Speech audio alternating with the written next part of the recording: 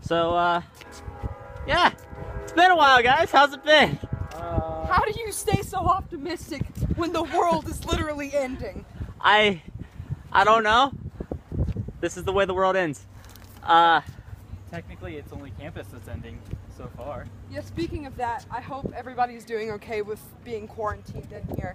Like, obviously, we've gotten some, some kind of recognition from what's going on from, like, at least, like, you know, the Portsmouth police or something. But we are, we are quarantined in right now.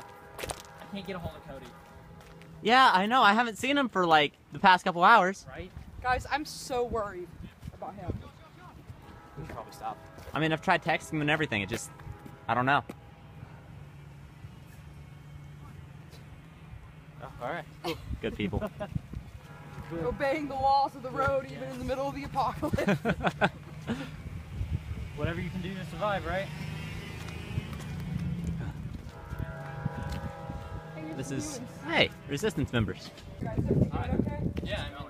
Just looking for envelopes. Alright. Well, be careful. Okay. Yeah, Stay we're safe. We're Yeah. trying to.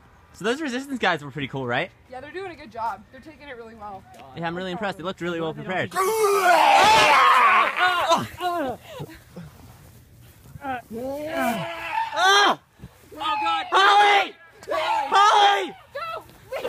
Eric, come on! Eric, come on!